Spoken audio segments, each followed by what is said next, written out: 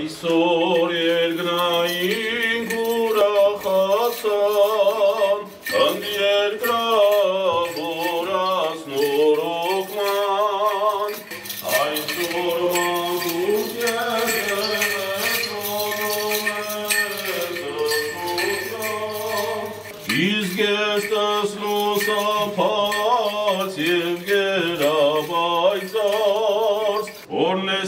եմ սրբեսի, զավասացը ջուրս և դարմանադրունս այս նշանավ։ Աստվածորն է այս կենտրոն, աստվածորն է ձեզ, ձեր ձերքին, ձեր մտքին պայծառություն և ուժ կարողություն պարգևի, փրկելու հազարավոր մեր անուշ տղաների կյանքերը։ Այսօր լրանում եմ 4 տարի, որ գործում եմ զինվորի տուն վերականգնողական կենտրոնը եւ այս ընթացքում հաջողվել է շուրջ 6000 մեր տղաների արդեն կարող ենք զեկուցել 6000 մեր տղաների վերականգնողական, բուժական, կրթական, մշակույթային, կենցաղային բազմաթիվ ծրագրեր իրականացնել։ Այդ ամենը հնարավոր է եղել հավաքագրելով շուրջ 12.5 միլիոն դոլար, որը հավաքագրել են մեր հայրենակիցները եւ մեր ժողովրդի ընկերները։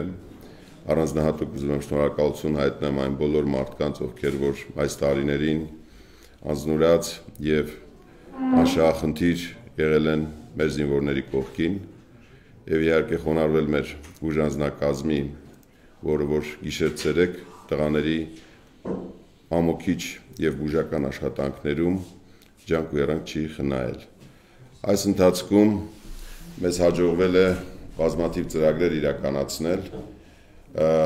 եւ թիմը, որը որ իրականացրել այդ ծրագրերը այսօր կազմը շուրջ 300 հոգի, 300 աշխատատեղի մասին է խոսքը նաեւ գնում տնտեսության հետ կապված։ Ստեղծվել է մի կոթող, որը որ այսօր խորհրդանշում է մեր ազգի արժանապատվությունը, մեր վերաբերմունքը մեր զինվորներին։ Մի կոթող, որը որ կարողացել է համախմբել հայ ժողովուրդը ներդաշնակ եւ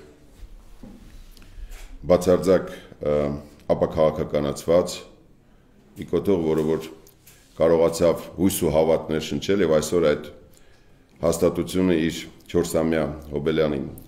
օրը նաեւ այս բաժինն է բացում, որը մեր հարգարժան գործընկերների աջակցությամբ մեր սիրելի բարերարների անձնակազմի հետ մեկտեղ կարող ենք այսօր արդեն ասել, որ Հայաստանում այլևս կգործի գանգուղեղային տրավմաների եւ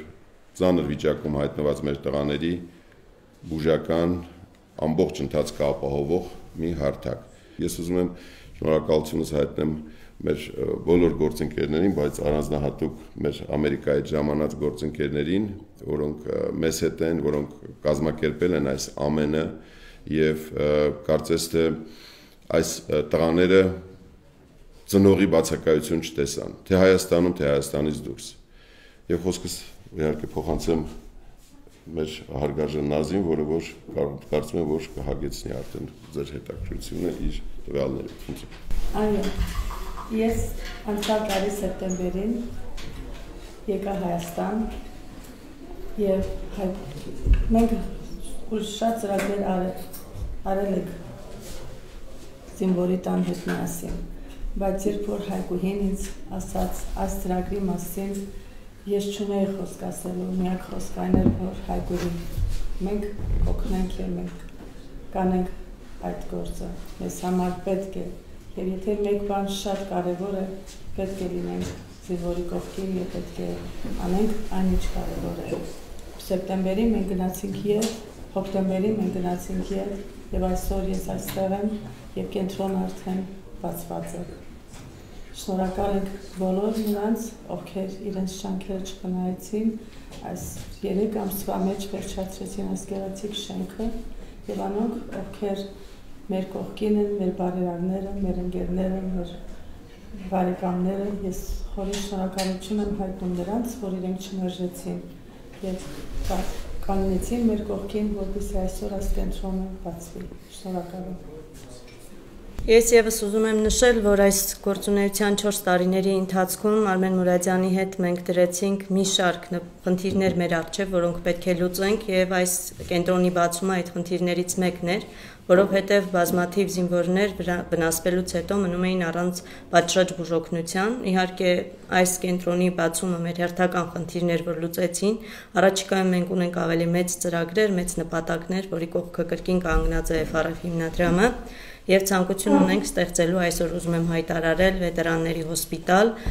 որտեղ որը լինելու է համադրված ծառայություններով հագեցած բազմապրոֆիլ բուժ հաստատություն, որտեղ որ բոլոր տղաների բոլոր խնդիրները մեկ վայրում կլուծվեն Այն ամբողջությամբ հարմարեցված է լինելու հաշմանդամություն ունեցող անձանց, թե այն տղաներին, ովքեր կույր են, թե ունեն հոգեկան առողջության խնդիր, եւ ծրագրի ընդհանուր բյուջեն մոտ 25 միլիոն դոլար է լինելու։ Առաջին դրամահավաքը Միացյալ Նահանգներում արդեն անցել է, հավաքել ենք շուրջ 5 միլիոն դոլար եւ առաջիկայում մեզ սպասվում է եւս համահայկական միաբանություն այս գաղափարի շուրջ։ Ավաղ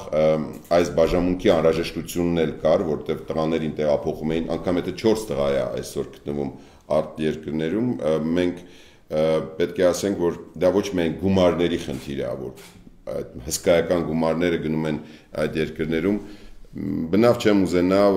ասել, որ այդ երկրներում հոգատարությունը բուժ պերսոնալ ավելի քիչ է, բայց վստահաբար կարող եմ ասել, որ Հայաստանում այդ հոգատարությունը կլինի ավելի բարձր